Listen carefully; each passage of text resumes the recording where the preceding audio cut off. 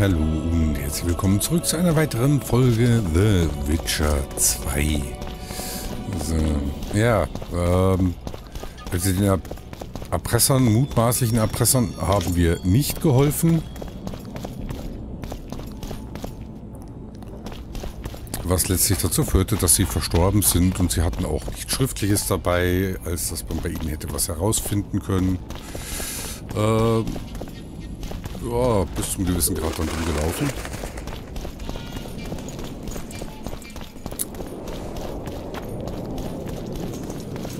Aber dem traue ich sowieso nicht. Das...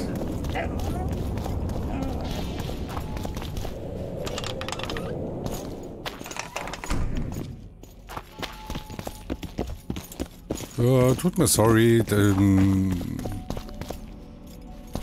für, für dich habe ich leider keine Informationen. Der Hexer. Ich hier anwesend bei der Arbeit.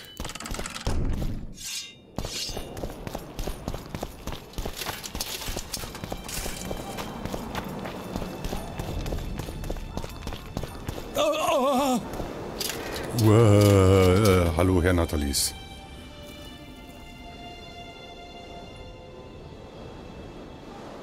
Unter den Temeriern gibt es einen Verräter. Vorsicht, Hexer. Wenn du jemanden des Verrats bezichtigst, solltest du besser Beweise haben. Bussy und Anaïs. Ja?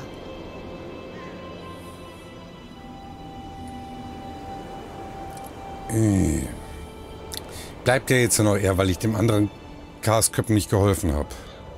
Du hast einen Verräter im Lager, Konstabler. Ich weiß, was der temerische Adel von mir hält. Er liebt mich nicht und versucht permanent, mich loszuwerden. Und so wird es auch bleiben, solange der Thron nicht besetzt ist. Ich spreche nicht von dir. Graf Maravel ist verantwortlich für Bussys Tod und dafür, dass Anaïs Kedwen in die Hände gefallen ist. Eine schwere Anschuldigung, Hexer. Dieser Brief zeigt klar, dass Maravels Männer den Konvoi mit Volltestskindern überfallen haben. Der Junge wurde dabei getötet. Anaïs wiederum wurde entführt und an die Nilfgaarder ausgeliefert. Warum?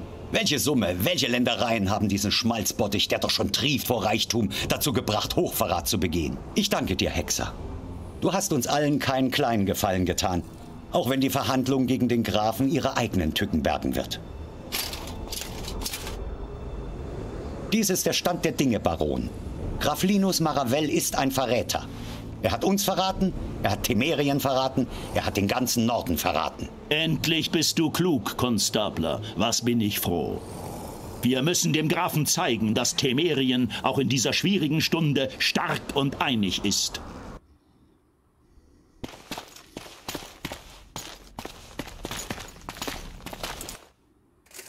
Nun gut, damit ist der weg.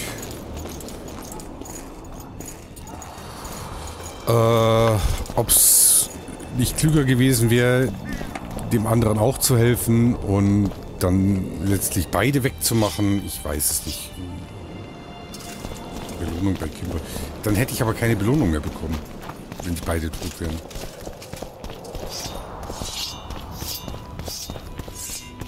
Aber der hat mich schon allein deshalb aufgeregt, weil der in meinem Durchgang gesessen ist.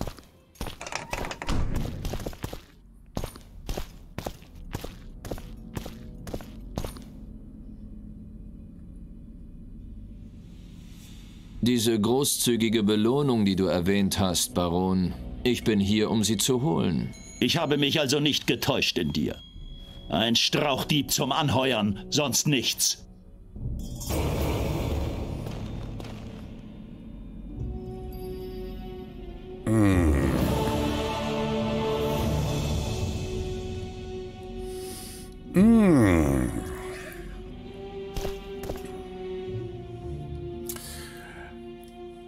Das hinterlässt einen faden Beigeschmack.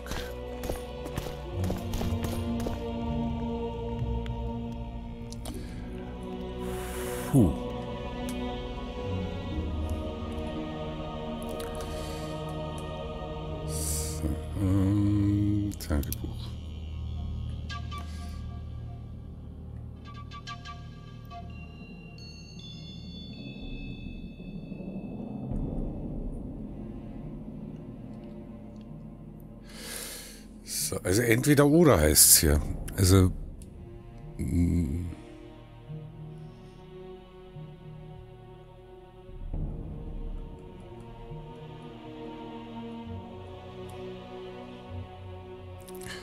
Leider hatten die Erpresser, sollten es wirklich welche gewesen sein, ausreichende Vorsicht vermissen lassen.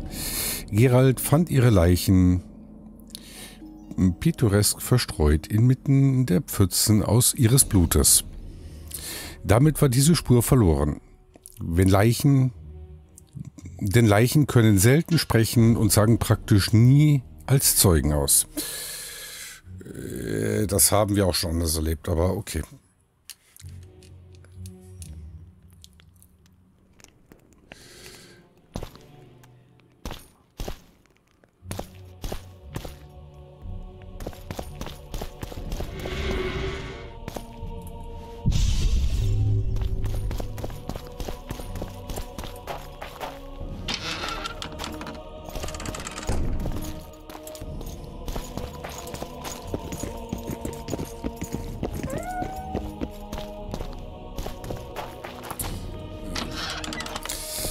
Mir der andere nämlich noch unsympathischer als der, den ich habe hängen lassen.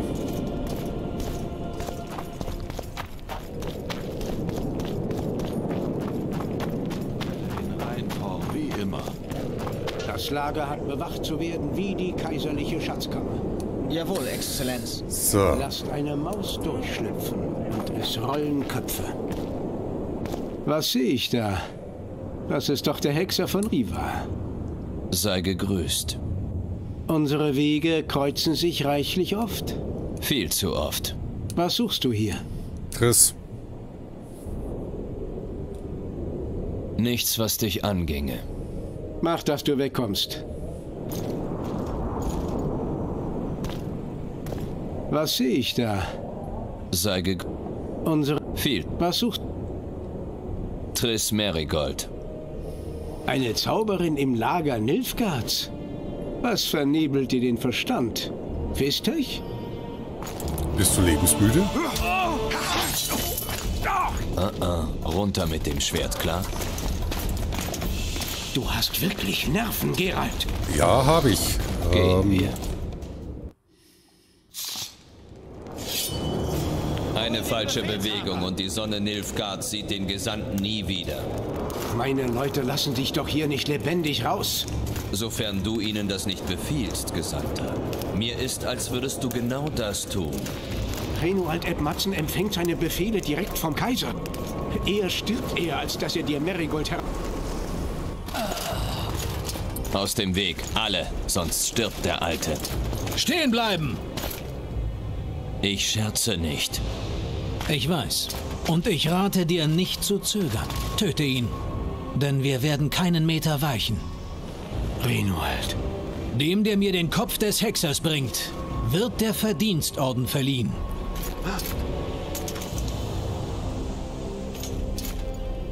Aber, Gesandter Fitzösterlin, Euer Exzellenz. Befehle aus der Hauptstadt. wer konnte damit Jetzt muss rechnen? Ja, wir kennen die. umbringen. Ja, richtig. Worauf wartet ihr? Auf ihn! Mit Gebrüll.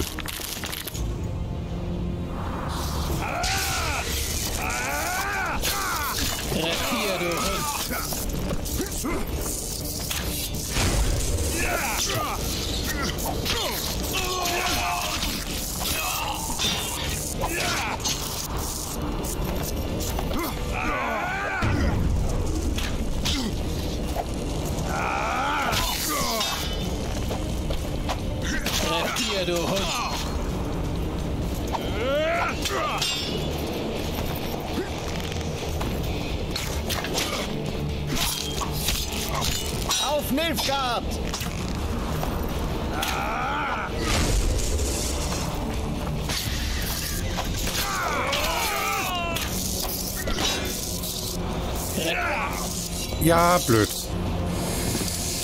So. Äh,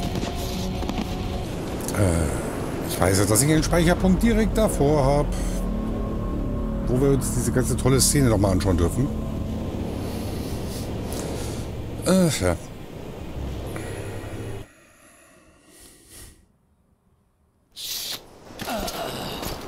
Aus dem Weg, alle. Auf Nilfgaard!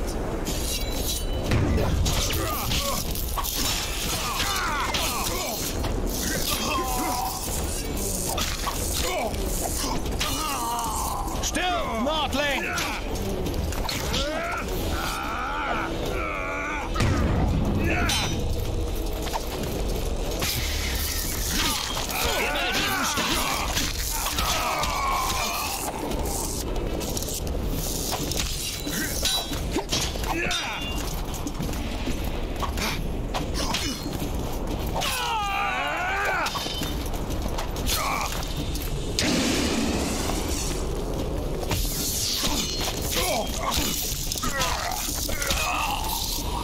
Ja, Mit gezogenem Schwert kann man nicht speichern. So.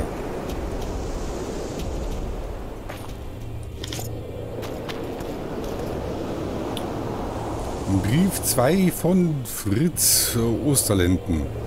Osterhasi.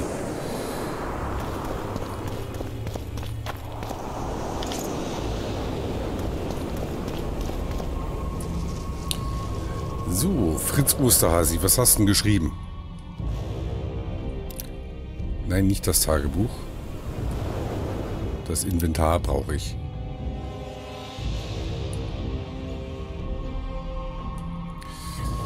Zweiter Brief des Abgesandten schillert Fritz Österlens an den Kaiser. Zu Händen seiner Majestät des Kaisers. Meine Referenz, Eure Kaiserliche Majestät. Nach der je beendeten Visite bei Foltest, er möge in Frieden ruhen, werde ich nun plangetreu Hänselt meine Aufwartung machen und ihm dabei euer Angebot unterbreiten. Sein Volk ist zerstritten, er selbst verunsichert, der Adel un ungebärdig. Die politischen Sympathien ändern sich mit jedem Stimmungsumschwung. Gegen sie zu intrigieren, kann man kaum als Politik bezeichnen. Auch Renal Renuald Abmatzen murrt gegen den barbarischen Norden. Ich wage zu bezweifeln, dass es eine gute Idee war, ihn herzuschicken.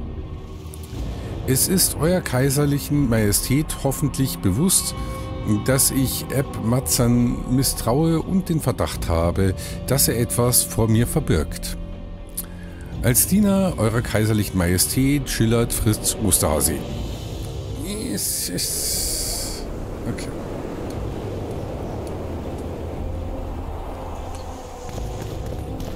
Das Tor ist geschlossen. Es muss doch einen Weg geben. Ja, den muss es wohl geben.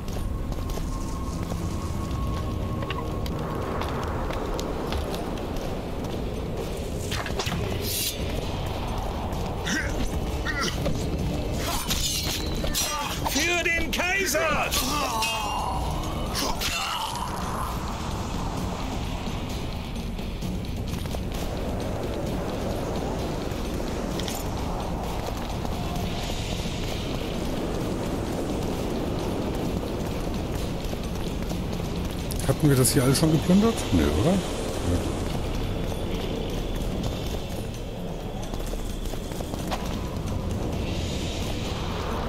Da unten war noch eine Kiste.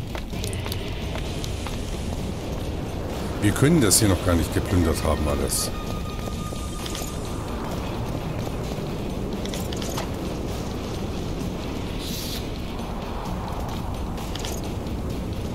Weil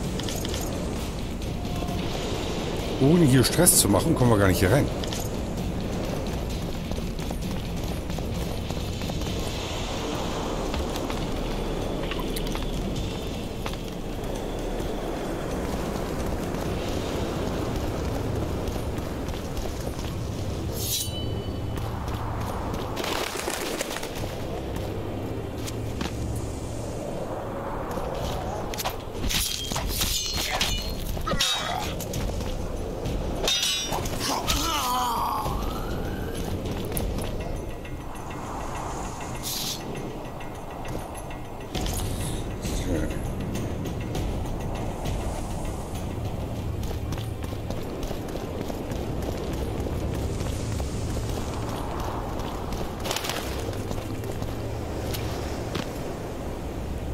Ach.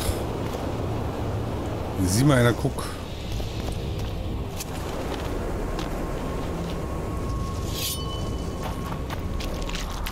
Hast du wirklich geglaubt, du könntest hier so einfach reinspazieren?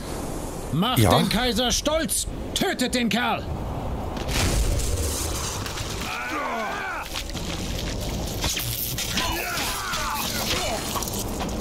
Auf Nilfgaard!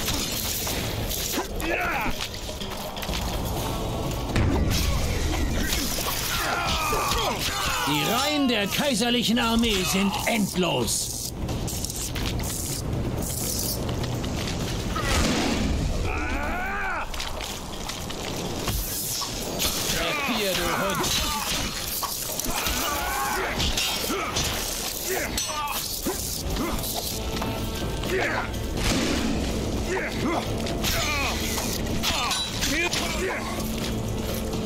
Ich wusste, dass die Ecke scheiße wird. Weil da haben wir beim letzten Mal auch diesen Angriff abgebrochen, also die Befreiungsaktion. Diesmal ziehen wir es allerdings durch. Es ist jetzt an der Zeit, Triss zu befreien.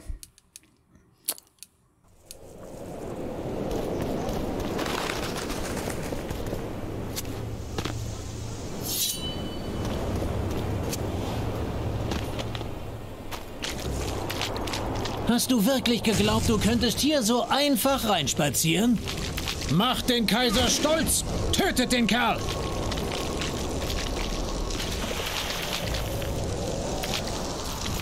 Stirb, Nordling!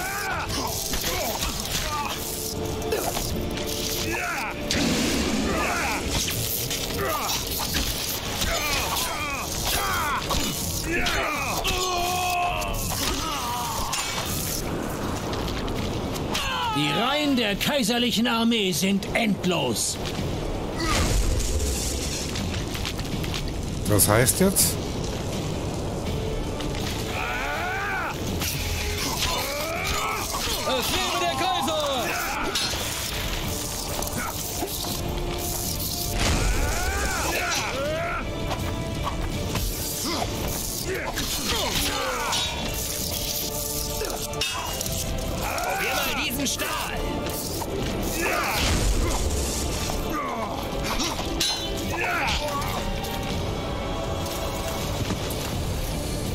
Runde geht ja noch. Das sind vier. Und dann kommen fünf. Und ähm, dann hoffe ich, gehen ihnen doch irgendwann ihre Leute aus, weil wenn ich da was anderes machen muss, als mich da durchzuschnetzeln, dann wird es aber echt unangenehm.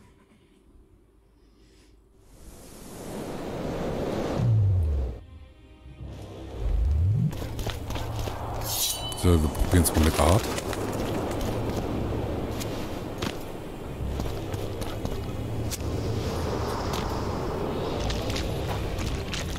Hast du wirklich geglaubt, du könntest hier so einfach reinspazieren?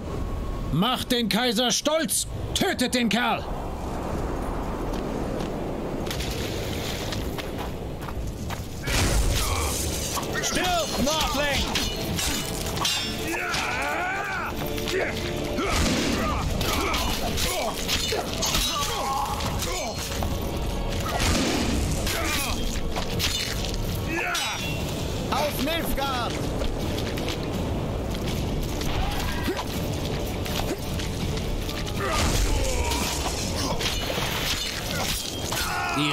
Der kaiserlichen Armee sind endlos.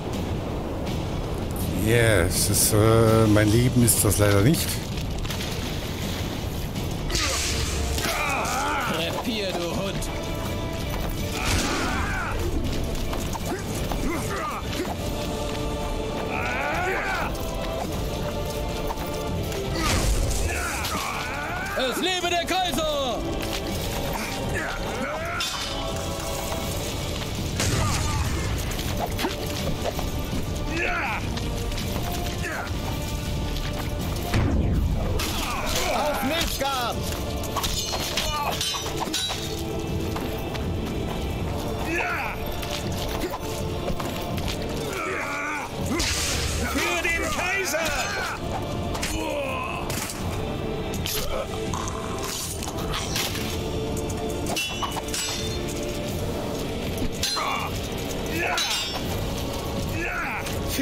Den Kaiser!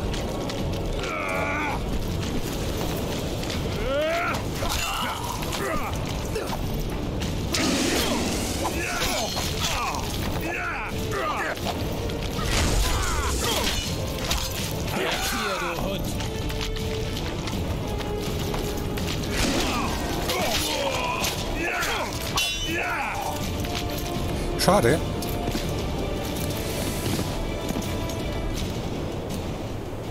Ganz, ganz so schlimm fand ich es eigentlich gar nicht, den Kampf. Also, so, ähm, also sch schlimm schon, aber nicht so scheiße durchgeführt.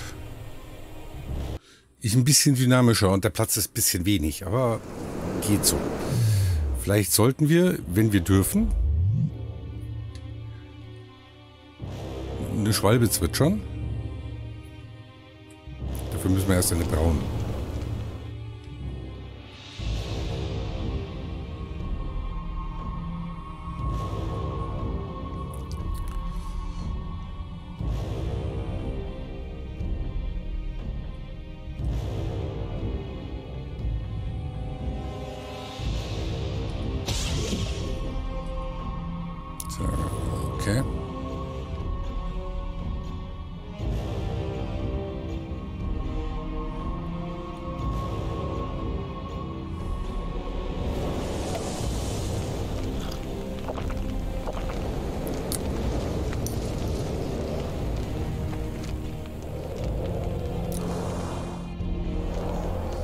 Weil danach kann ich nicht mehr meditieren.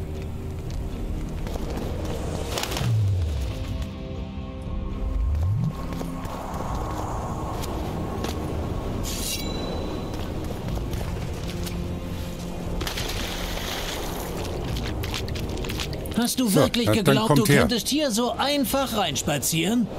Mach den Kaiser stolz! Nein, ich habe nicht Kerl. geglaubt, dass das einfach werden würde.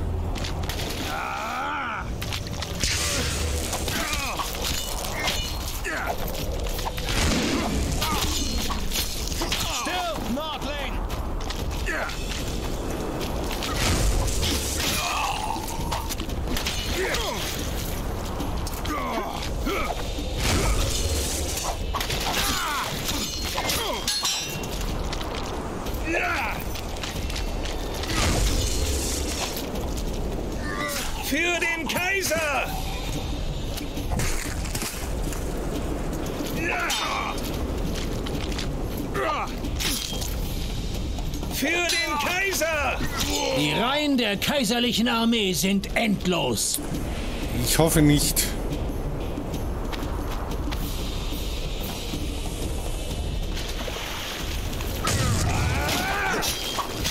Krepier, du Hund!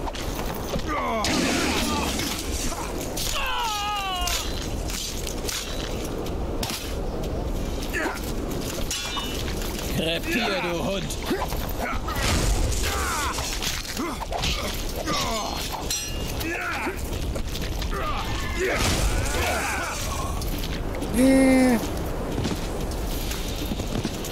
War, war nicht schlecht. Ich bin mir noch nicht sicher, wie sehr mir die Schwalbe dabei hilft. Äh,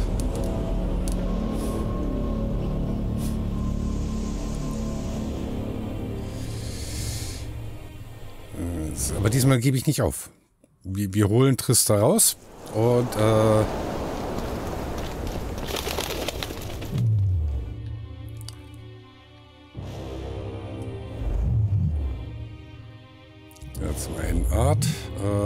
dann Alchemie. Verstärkt Blutungen, äh,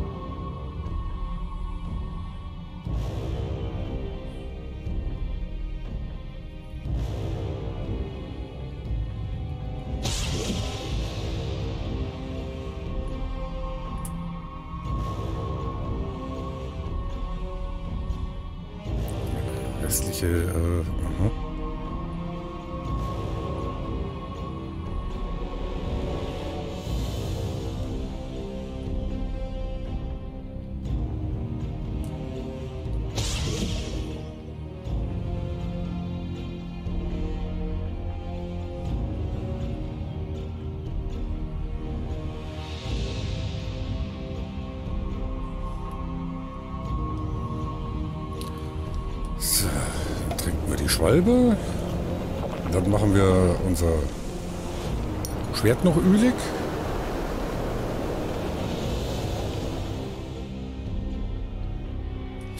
Charakterpunkte haben wir auch noch zwei, okay.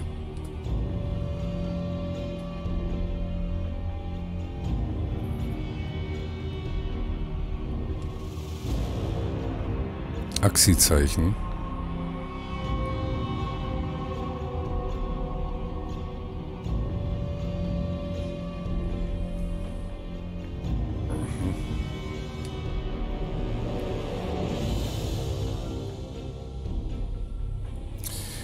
Entlastung. Quentzeichen reflek richtet reflektierenden Schaden auf mehrere Ziele. Dann haben wir da eine Igni-Verstärkung. Oh. Fatale Anziehung ermöglicht, mit Achse zu verhexen.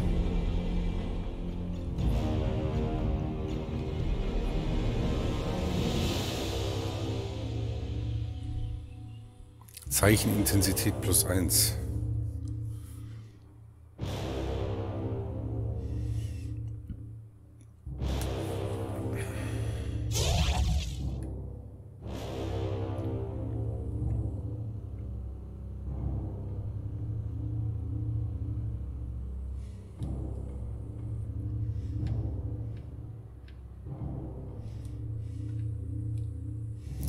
Was haben wir denn eventuell hier bei den Waffen noch? Mehr Leben.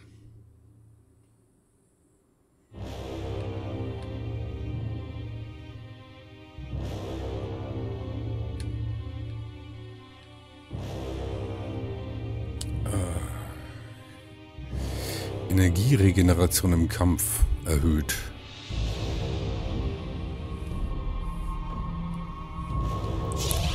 Hätte ich gerne.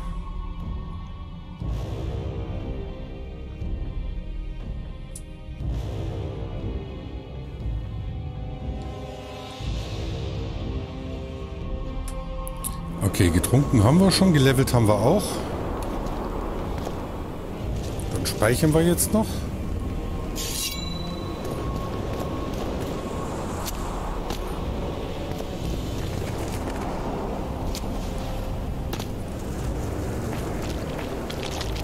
Hast du wirklich geglaubt, du könntest hier so einfach reinspazieren? Macht den Kaiser stolz! Tötet den Kerl!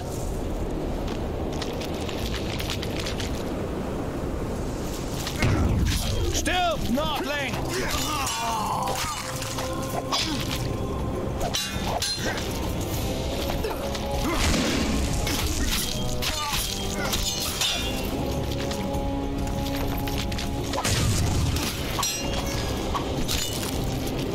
Auf Nilfgaard!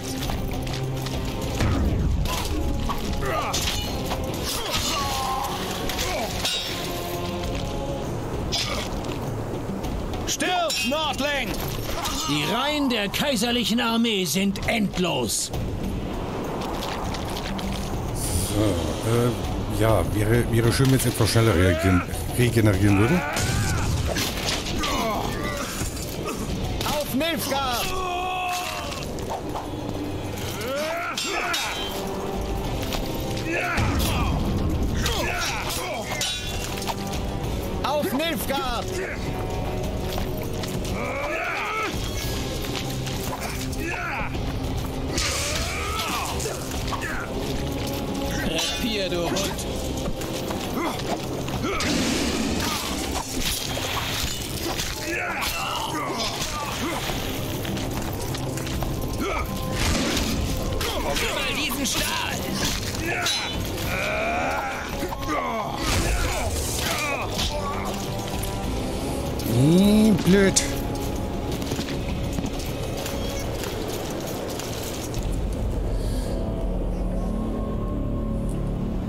Ähm, tut mir auch leid, dass ich da nicht so viel kommentiere, äh, währenddem ich kämpfe, aber ich probiere so zu tun, als wäre ich konzentriert. Ähm,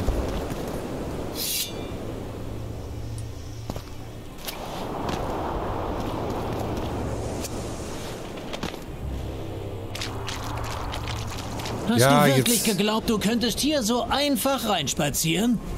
Macht den Kaiser stolz! Tötet den Kerl!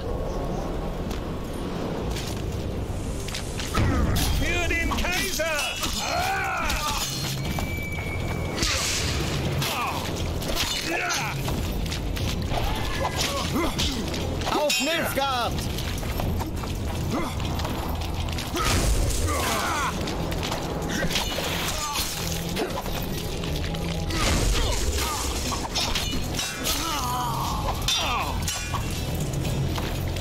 Auf Nilfgaard!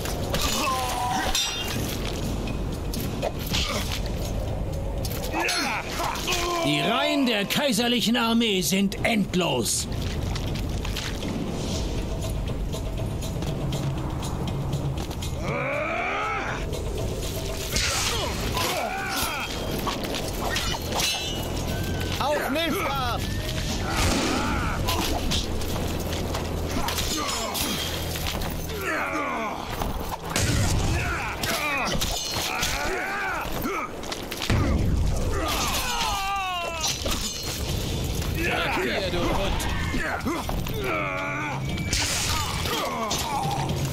Mistikack. Da bin ich wieder voll reingepresst.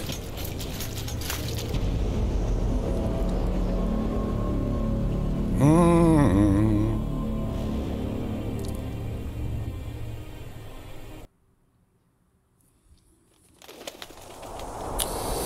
Ja gut, äh, dann würde ich sagen,